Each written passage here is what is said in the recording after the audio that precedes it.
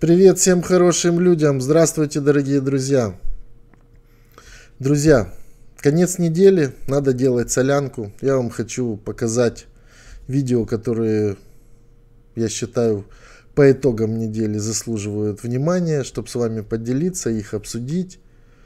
Они достаточно будут все-таки все позитивные. Поэтому хорошего вам настроения, приятного просмотра. Первое видео которого я хочу нач- начать, я не знаю, как его правильно назвать.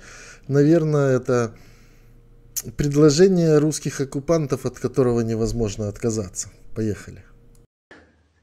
Читаю комментарии, мне пишут, походу из России. Пишет, вы срочно переходите на сторону РФ, и война очень быстро закончится. Ну, так как тебе сказать. Это нам сначала Херсон надо освободить, потом Крым, потом он Луганск, Донецк, блядь. А потом уже на, только на вашу сторону перейдем. Вот это герой, срочно переходите. Мы что тебе? Срочно, говорит, переходите. Сука. Перейдем, но все постепенно, потому что ценность солдата в украинской армии самое главное. Друзья, следующее видео, которое я хотел бы вам поделиться, сделал Андрей Паук. Блогер из Беларуси. У меня с ним в понедельник интервью. Много людей и блогеров сделало обзор на 1 сентября, особенно на усатого таракана, как он пудрил мозги школьникам. Но я считаю, самый лучший обзор, краткий, на 2 минуты, самый добрый, веселый сделал Андрей Паук. С его разрешения я с вами делюсь. Кто-то видел версию двухдневной давности, он мне сегодня сбросил небольшой апгрейд, поэтому здесь новая версия. 1 сентября наш президент в роли педагога провел урок «Историческая память. Дорога в будущее». Я, как президент, взял молотком, размажил голову женщины, что не узнать. Расчленил на куски, порубил, в ванну забросил и водой залил. Я это не скрываю. И что? Кого-то наказали? Нет. Сделай вывод. Это очень редко, слава богу, бывает. Пожалуйста, вопрос. Можно ли с вами сфотографироваться? О, Формат урока был очень неожиданным. мы будем укреплять наши отношения с нашим основным стратегическим партнером. Это Барак Обама. Сволочь, в плен не брали. Царство ему небесное. Они начали сбрасывать доллары. Но тут подвернулся случай с Россией. Это высочайшая в своем развитии страна. Империя. Мерзавцы такие, что дальше некуда. Вам нравится эта информация? Я это нормально воспринимаю. Это не просто лекция, все было серьезно. В душ ходите один раз в неделю, э, туалетную бумагу стирайте. И внезапный вопрос от президента. Ну вы, ну вы видели, откуда кукловодили? Вы брали телефон, вы видели, стрелками вам показывали, куда идти? Не, не видели. Вы что, в интернете не сидите? И у ребят было что спросить у главы государства. Сделал себе парень майку с портретом Гитлера и в сердечке. Это характерно для молодежи. Еще раз я себя вспоминаю в это. И не все только было плохое связано в Германии с известным Адольфом Гитлером. Но это было. И белорусский народ эту страницу сразу же закрыл. В эфире речь президента мог слышать каждый. А еще о том, чем в своей новейшей истории мы по праву можем гордиться. Национализм, нацизм, фашизм. Где мы его берем? Один источник – Россия. Ну, это просто отмороженные люди. Ответы переросли, по сути, в большой интересный разговор. Мы националисты. О, Марзалюк. Националист. Раньше был больше, сейчас меньше. Бейте, режьте русских, отрезайте им то, отрезают русским голову. Это нормально, ребята. Мы исключительная нация. И что? Кого-то наказали? Сделай вывод. Ты не сказал, как тебя зовут? Иван. Иван? Русский? Да. Ну вот, видите, чемодан вокзал России. Александр Лукашенко был на, вся- на связи абсолютно со всеми школами и вузами страны. чтобы знать, как двигаться вперед. До свидания. Я считаю, все хорошо у Андрея получилось. Если у вас есть к нему вопросы, чтобы я в понедельник на интервью задал, оставляйте, пожалуйста, в комментариях. Я постараюсь максимально все вопросы ему задать. Следующее видео, которым я хочу с вами поделиться, оно называется «Когнитивный диссонанс в русской голове». Свои мысли озвучивает Юрий Шевчук. Давайте посмотрим. Да столько устали, я не знаю. Вот у меня есть друг, прекрасный мужик, золотые руки. Я ему говорю, что вот на Западе там не так плохо, как те рисуют. Там человек защищен. Вот посмотри, давай я тебя свожу в Финляндию.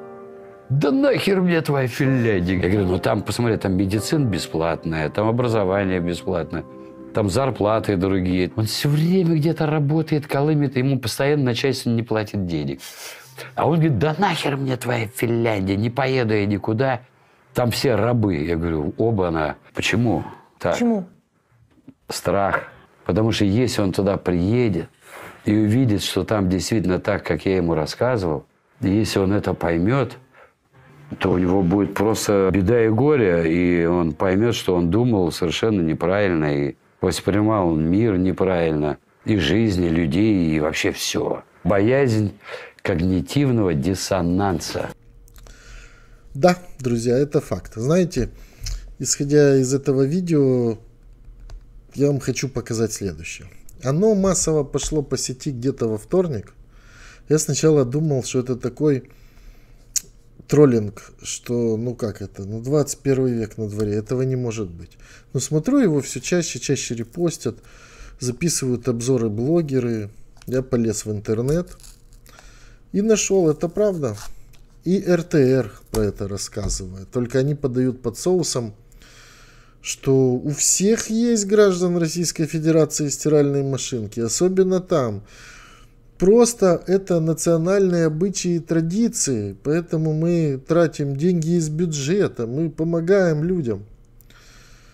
Но вы сейчас услышите это волшебное слово увидите репортаж негодования российской журналистики. И называется оно очень просто. Полоскалки. Импортозамещение, возврат в 19 век, технологии того же века. Поехали. Ежегодно городская администрация заключает контракт с подрядчиком на установку и обслуживание полоскалок, которые пользуются большим спросом у населения. Сумма контракта составляет 250 тысяч рублей. В перечень работ входит ремонт и содержание в надлежащем виде мест для стирки и полоскания белья. По словам жителей Дымковской стороны, еще две недели назад они обратились с просьбой передвинуть с сухого берега полоскалку в воду. Это было сделано только сегодня. По условиям контракта подрядчик подрядчик обязан регулярно мониторить состояние полоскалок и своевременно устранять все недочеты. Но, как мы видим, эти обязательства выполняются не в полной мере. Видимо, это поручень, но находится он далеко не на своем месте. Кроме того, что подрядчик не отслеживает обмеление реки, не передвигает полоскалку в воду своевременно, не придается значения и правильности установки объектов. Так называемый стол для стирки белья, по мнению устюжан, должен находиться с правого бока, а не в центре. По их словам, стирать и полоскать белье при таком расположении просто невозможно. Насчет вот полоскалки в этом году я вот первый раз вижу, что она не совсем такая, как прежде. Раньше вот эти столы, они стояли параллельно по сторонам, и та сторона, она, плоскалка была развернута, и поэтому, когда стирали там ковры, э, дорожки всякие, им было удобно потом спустить свои ковры в речку. А сейчас вот эти все ограждения, они, в общем-то, мешают. И мы видим, что внутри полоскалки собирается грязь. Это раньше такого не было. Сам же подрядчик считает, что все условия контракта выполняются в полном объеме. Полоскалки установлены по всем требованиям и нормам. За отслеживанием уровней воды закреплен специалист, который ежедневно мониторит ситуацию с полоскалками на реке. Оксана Митинева, Вячеслав Голиков, телеканал «Русский север».